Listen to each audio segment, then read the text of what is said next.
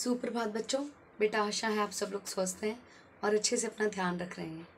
बेटा आपको पता है कि आपका रिवीजन टेस्ट वन हो चुका है और रिवीजन टेस्ट टू सैटरडे को है। बेटा, हम लोग रिविजन्स कर रहे हैं। मैंने आपसे पहले भी कहा था कि पहले जो ट्यूटोरियल्स आते थे, उसमें मैं आपको ग्रामर भेजती थी और अब मैं आपको लिटरेचर के चैप्टर्स भेजती हूँ। हम लोग रिवीजन कर रहे हैं चैप्टर्स की थ्रू ट्यूटोरियल्स ओके? तो बेटा आज हम जो चैप्टर रिवाइज करने जा रहे हैं, वो है ईद मुबारक। पाठ का नाम है ईद मुबारक। ईद त्योहार है जो देश भर में मनाया जाता है। लोग बहुत ही उत्साह के साथ इस त्यौहार को मनाते हैं। जैसे हम दीपावली का त्यौहार या गुरपूरब मनाते हैं, होली, लोहड़ी, ये त्यौहार मनाते हैं। ऐसे ही ईद का त्यौहार भी मनाया जाता है। और आ, हमारी पुस्तक में ये पाठ दिया गया है हम इसे पढ़ेंगे। अपनी किताबें मेरे साथ निकाल लीजिए। पेज नंबर सिक्सटी एट पर दिया है पाठ ईद मुबारक। मेरे साथ साथ रीड कीजिएगा ओके? और ध्यान से समझिए। ईद मुबारक पाठ नौ। देखो येलो उसमें लिखा है कलर में, आज ईद है। इसका क्या मतलब है? कि ईद का दिन है और उस दिन का सीन डिस्क्राइब किया हुआ है कि किस तरह से ईद मनाई जाती है। आज ईद है। कल रात ईद का चाँद दिखाई दे गया। रमज़ान का महीना पूरा हो गया। अभी तक रोज़े रखे जा रहे थे। जैसे हिंदू धर्म में लोग व्रत रखते हैं, वैसे ही रोज़े होते हैं, जो कि रमज़ान के महीने में रखे जाते हैं। जैसे ही पेश इमाम साहब ने चाँद दिखाई देने की घोषणा की, चारों ओर खुशियाँ छा गईं। वैसे ईद की तैयारियाँ कई दिनों से चल रही थी। जैसे हम दीपावली का त्यौहार मनाते हैं तो कई दिन पहले ही दिवाली की सफाइयाँ शुरू कर देते हैं, पूजा का सामान इकट्ठा करने लगते हैं, नए कपड़े खरीदने लगते हैं और कई दिन पहले ही एक दूसरे को उपहार देने लगते हैं, तोहफे देते हैं, है ना? ऐसे ही ईद की तैयारी भी कई दिन पहले ही शुरू हो जाती है। ईद के मौके पर घर के सभी लोगों ने नए कपड़े सिलवाए हैं। करीम ने नया कुर्ता पहन रखा है। सलमा ने भी नया घाघरा पहना हुआ है। उसके गले में लाल रंग की चुन्नी भी डाली हुई है। बच्चे एक दूसरे को अपने कपड़े दिखाकर खुश हो रहे हैं। बच्चे क्या दिखाकर खुश हो रहे हैं? नए नए कपड़े। आपको भी कपड़ों का शौक है ना कि कोई भी फेस्टिवल हो, कोई भी ओकेजन हो तो हम नए कपड़े पहने, नए कपड़े सिलवाएँ। तो उन्होंने भी नए नए कपड़े सिलवाए हैं। सलीम ने नया कुर्ता पहना है और सलमा ने नया घाघरा पहना है और साथ में लाल चुन्नी ली हुई है। आज घर में मीठी सेवैयाँ पक रही हैं। बेटा सेवैयाँ के स्पेलिंग्स देखो। कुछ बच्चों ने कॉपी में सेवैया के स्पेलिंग्स गलत लिखे थे। ऐसे लिखे जाएँगे। सेवैया और आ की मात्रा के ऊपर चंद्र बिंदु ओके? सेवैया आज घर में मीठी सेवैया पक रही हैं। ईदगाह जाने से पहले सभी को खाने के लिए सेवैया मिलेंगी। और बच्चों को क्या मिलेगा? बच्चों को ईदी मिलेगी। ईदी में बच्चों को रुपए मिलते हैं, जिसे लेकर बच्चे बहुत खुश होते हैं और मेला देखने जाते हैं। बच्चों को आज ईदी भी मिली है। अब लोग ईदगाह जाने के लिए घर से निकल रहे हैं। वहाँ मेला भी लगा हुआ है। बच्चे मेले में जाने के लिए मचल रहे हैं। मचल रहे हैं मतलब बहुत शोर मचा रहे हैं कि हमें मेले में जाना है, मेले में जाना है। खुश हो रहे हैं एक्साइटेड हैं बहुत, उत्सुक हैं, उत्सुक एक्साइटेड उत्सुक हैं। बच्चे मेले में जाना चाहते हैं। लो, ईदगाह आ गया। वहाँ सभी लोग पहुँच चुके हैं। अब लोग जब ईदगाह पहुँच जाते हैं तो वहाँ प्रेयर करते हैं, नमाज़ पढ़ते हैं। तो नमाज़ पढ़ने का क्या प्रोसेस है? ये बताया है। नमाज़ पढ़ने के लिए सभी लोग पंक्ति में खड़े हो जाते हैं। पंक्ति मतलब लाइन। नमाज़ पढ़ते समय वे एक साथ झुकते हैं। वे घुटनों के बल बैठकर अपने हाथ ऊपर उठाकर खुदा से दुआ मांगते हैं। दुआ मांगना मतलब मन्नत मांगना। विश मांगना। नमाज़ पूरी हुई। अब लोग एक दूसरे के गले लग रहे हैं। वे ईद की बधाई देते हुए कहते हैं, ईद मुबारक। नेक्स्ट पेज ईदगाह के बाहर मेला लगा हुआ है। आप लोगों ने भी मेला देखा होगा ना? कभी ना कभी देखा होगा मेला। क्या क्या चीज़ें होती है मेले में? झूले लगे होते हैं खाने पीने की दुकान, दुकानें होती हैं और खिलौने लगे होते हैं, है ना? बहुत तरह तरह की चीज़ें लगी होती है। सजावटी सामान होता है। बच्चों के लिए बहुत सारी चीज़ें वहाँ पर मिलती हैं। तो ऐसे ही यहाँ भी मेले के बारे में बताया है कि ईदगाह के बाहर मेला लगा हुआ है।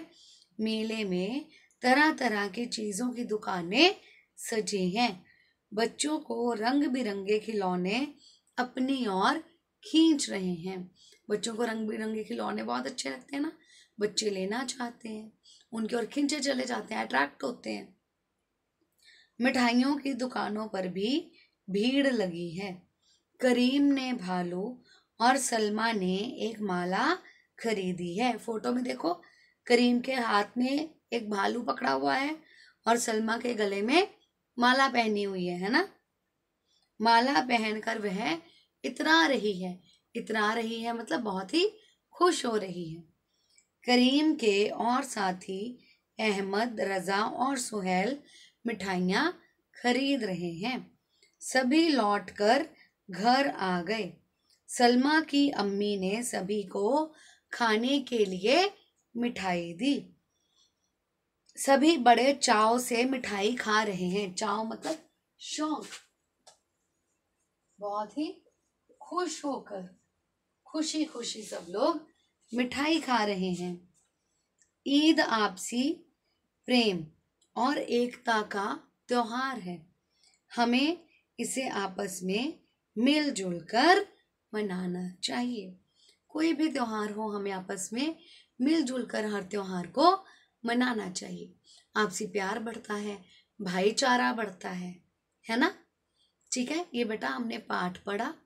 आई होप कि आपको पाठ एक बार फिर से समझ में आया और साथ साथ में रीडिंग ज़रूर करना ओके क्वेश्चन एक बार डिस्कस करते हैं बैक एक्सरसाइज के। रोज़े कब रखे जाते हैं? रोज़े रमज़ान के महीने में रखे जाते हैं। रमज़ान रमज़ान के महीने में रखे जाते हैं। सलमा ने क्या पहना है? सलमा ने घाघरा पहना है। बेटा जब आप घाघरा लिखेंगे तो ध्यान रखेंगे, घ लिखना है, ग नहीं लिखना गागरा नहीं है, घाघरा घाघरा पहना है। ईद के अवसर पर क्या चीज़ बनती है? ईद के अवसर पर मीठी सेवैया बनती हैं। ओके? ईद से पहले कौन सा महीना चल रहा था? ईद से पहले रमज़ान का महीना चल रहा था। चाँद दिखाई देने की घोषणा किसने की?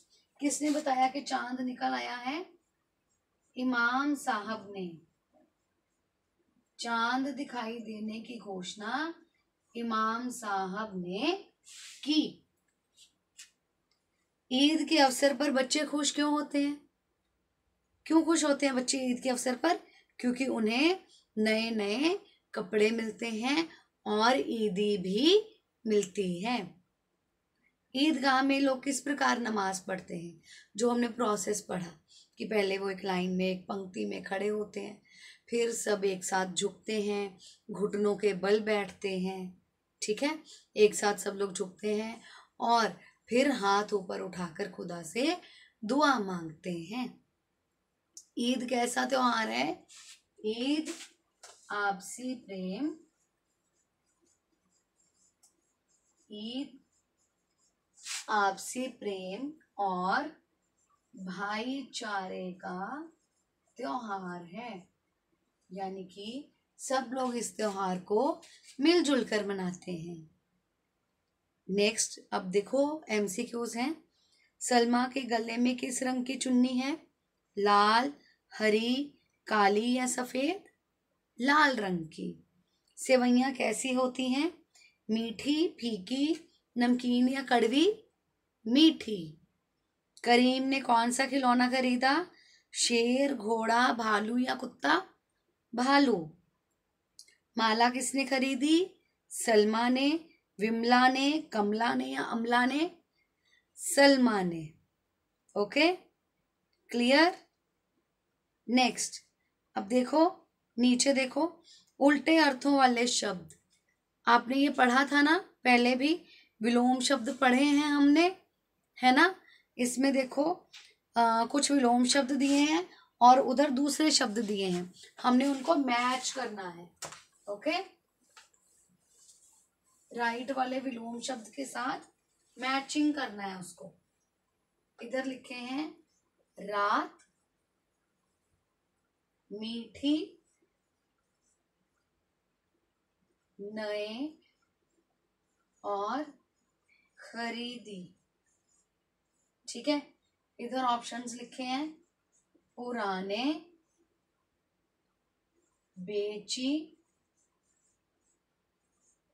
दिन और फीकी। अब विलोम शब्द है मतलब उल्टे शब्द। तो कौन से होंगे? रात, दिन। मीठी, फीकी।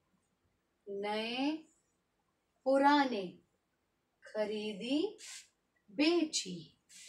ओके ये विलोम शब्द हैं बेटा। तो ये बेटा हमारा पाठ है। ईद मुबारक। आप लोग इस पाठ को बहुत ही ध्यान से पढ़ेंगे, समझेंगे क्वेश्चंस बहुत ध्यान से करेंगे। और बेटा, जब आप क्वेश्चन आंसर्स करते हैं तो वन वर्ड आंसर नहीं लिखना, पूरा आंसर लिखिएगा। और स्पेलिंग्स बहुत अच्छे से लिखिएगा, क्योंकि जब हम स्पेलिंग एरर्स करते हैं तो मार्क्स कटते हैं। इसलिए बेटा रिटर्न प्रैक्टिस करना लिख लिख कर क्वेश्चन आंसर्स की प्रैक्टिस करना। ओके थैंक यू बेटा।